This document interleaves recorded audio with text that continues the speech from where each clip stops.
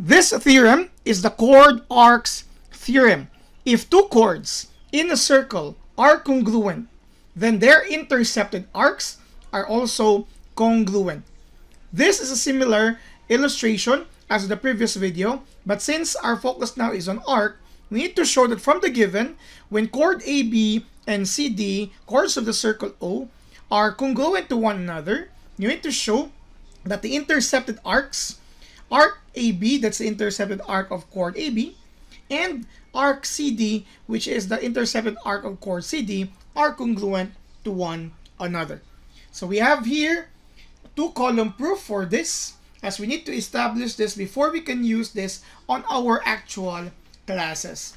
The first part of the proof is always placing what is the given. So we can state here that uh, segment AB and segment CD are chords of circle O where they are congruent to one another.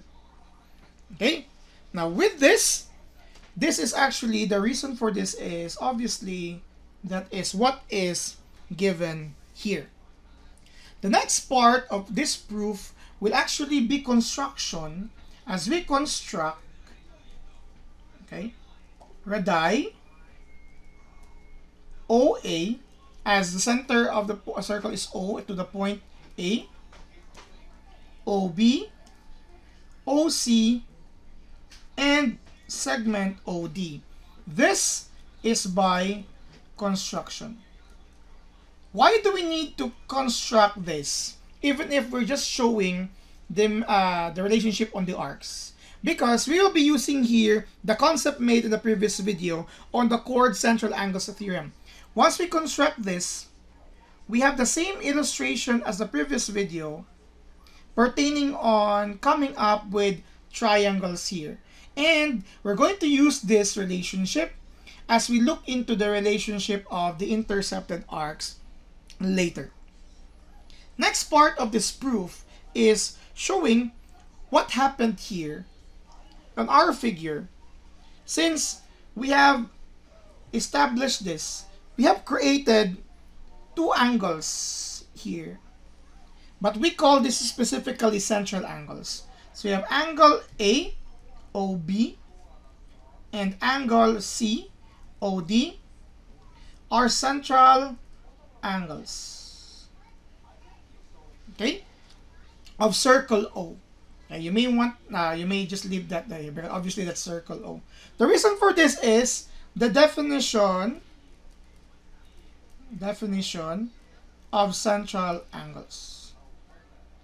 Since we have established that this sides, the sides of angle AOB being segment OA and OB are radii of the same circle O, this is also true with the sides of angle COD being OC and OD are also radii. So we have fit to the idea of central angles here. Now, we don't need to show the proof for the congruence of these two triangles which is needed in proving this theorem because we have established already the previous uh, the proof of the previous video. We can now of course safe to assume that angle, the two central angles A, OB is congruent to angle COD. This is because of the previous proof on the chord central angles theorem. You might want to review that. You may visit the this playlist to view the proof for this. Because we don't need to show uh, the proof of the, the previous video using triangle congruence and then CPCTC. But this time, since it's already proven, let's integrate that here because the main focus here is on the arcs. Now from this, since we are talking about congruent angles and we're going to move into congruent arcs, we actually need to pass through the idea of measurements because later on measurements or that point of measurements is what we'll be using as we go forward. Once they are congruent, therefore the measurement of angle AOB is just equal to the measurement of angle COD. This is per definition of congruent angles. If two angles are congruent, then they have the same measurements. Why do we need to pass this? Because there is an important statement here, an important reason, part of this proof, which could tell us that the measurement of angle AOB is just equal to the measurement of arc AB. The measurement of angle AOB is just equal to the measurement of arc AB here. This is also true for the measurement of angle COD, this angle, is equal to the measurement of arc CD.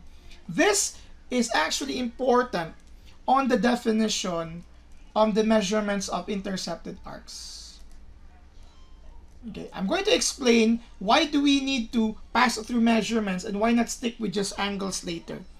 So again, measurement of intercepted arcs of central angles. This because this reason uses the point of measurement. It doesn't use congruence. If this definition uses congruence, then we don't need this. But since this definition on the measurement of intercepted arcs, which tell us that the measurement of intercepted arc, I mean the central angle, is just equal to the measurement of intercepted arc and vice versa. That is why we need to transfer from congruence to measurement. Okay? Just inserting that. Of course, for some who are already familiar with this proof, might not reach, uh, might not go with this automatically proceed to the next step I'm, I'll be placing uh, later. But since this definition talks about measurement, not congruence, we have established this.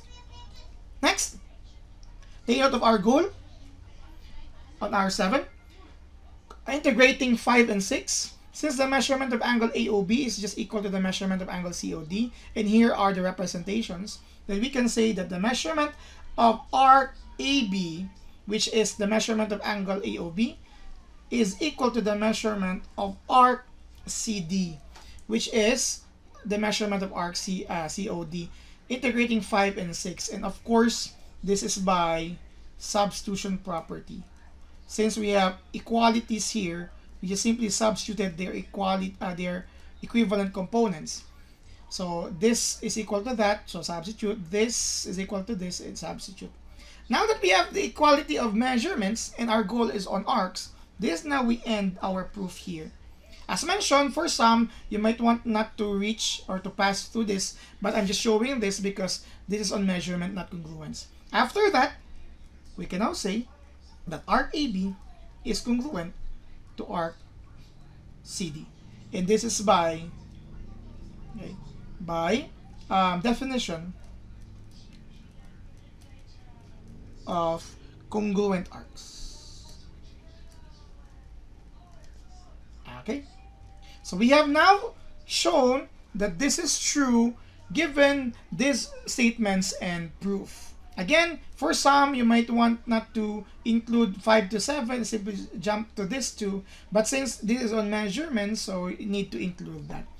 This is not a proof for this chords arcs theorem. Take note, it uses the proof of the previous theorem. So it's very important to prove these theorems as this will be used on another situation chord arcs theorem tells us that if two chords in a circle are congruent, then their intercepted arcs are also congruent.